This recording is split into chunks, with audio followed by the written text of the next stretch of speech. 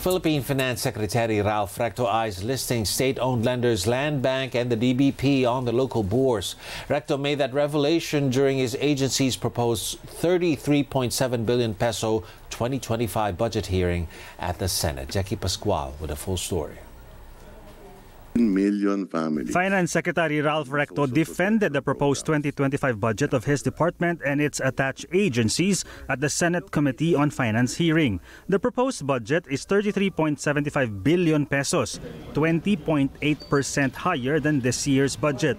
Recto said they will need a bigger budget to help fund next year's proposed national budget of 6.35 trillion pesos, of which 4.64 trillion will be funded from revenue collection and the rest through loans. For next year, our expenditures amount to 17.4 billion pesos a day, of which 12.72 billion pesos per day will be financed by revenue collections and the rest 4.68 billion pesos by loans every 24 hours. The Bureau of Internal Revenue has the biggest allocation with 17.6 billion pesos, followed by the Bureau of the Treasury with 6.4 billion pesos and Bureau of Customs with 5.6 billion pesos. Meanwhile, the Office of the Secretary has a proposed budget of 966 million pesos.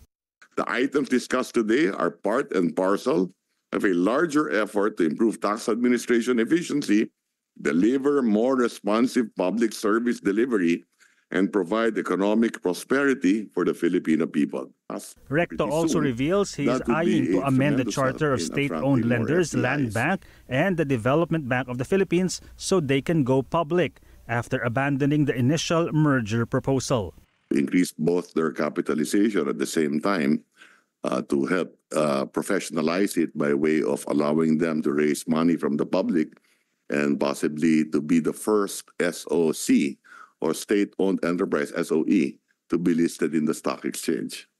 Meanwhile, the Maharlika Investment Corporation, chaired by Recto, will make its first investment in two to three months, according to its president and CEO. And despite not investing yet, it claims to have already earned interest income. Uh, We've already generated about 144 million in, in retained earnings uh, last year uh, when we started placing the money in November of last year, and another about 1.4 billion this year. So hence total about 1.5 billion in interest income. Currently undertaking due diligence on on two very important um, investments, um, intuitively both in the energy sector. And intuitively, we expect perhaps that in the next 60 to 90 days, we should be able to deploy. Recto remains confident of hitting the fiscal program for the year after collecting 2.61 trillion pesos in revenues for the first seven months of the year, making the country, according to Recto, among Asia's top revenue to GDP ratios in the first half of the year. Jackie Pascual, ABS-CBN News. President Ferdinand Marcos Jr. says he has a quote, very good idea of whose heads will roll over the escape of dismissed Mayor Alice Guo. Marcos says the Justice Department is almost finished with a thorough probe on the case. He vows the government will act quickly once all those involved are identified. Guo had fled the country amid congressional hearings on her alleged involvement in illegal offshore gaming operations. Very, very good idea. I have a very good idea.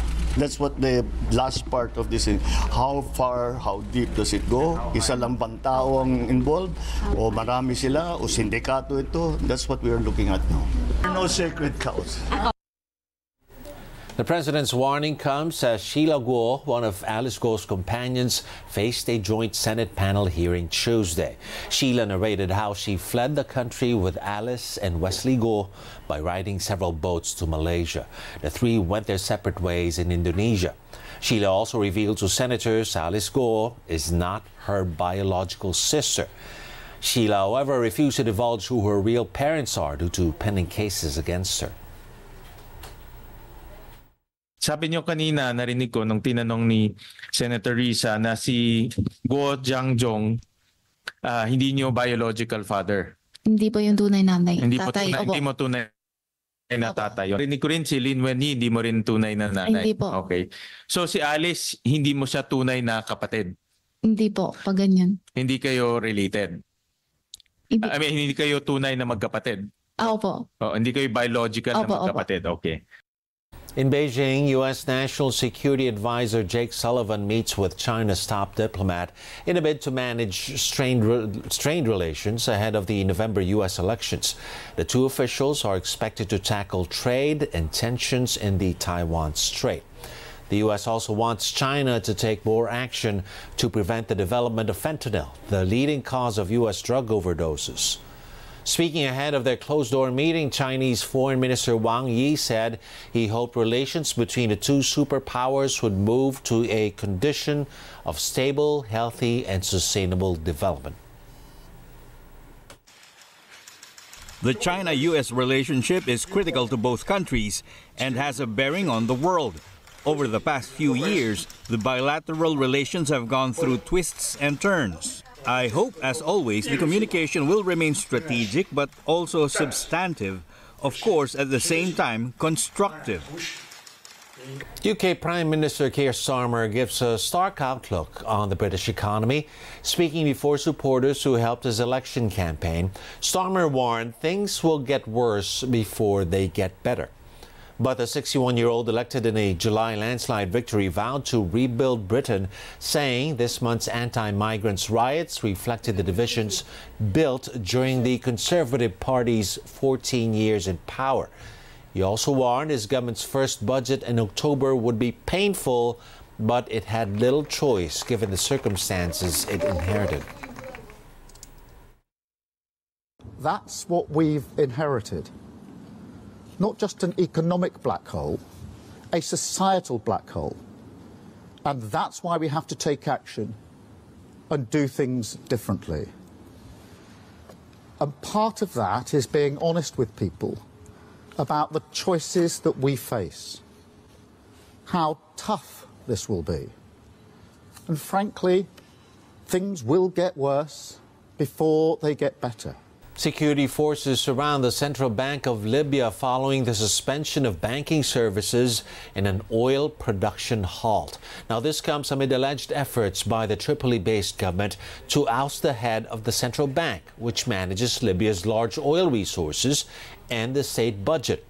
This and rising tensions with the UN recognized government in the West prompted a shutdown of the oil fields in the east, which account for 90% of the country's production. Libya's eastern based government, which is not recognized internationally, controls the oil fields. Libya is struggling to recover from years of conflict after the ouster or the 2011 ouster of longtime dictator Muammar Gaddafi.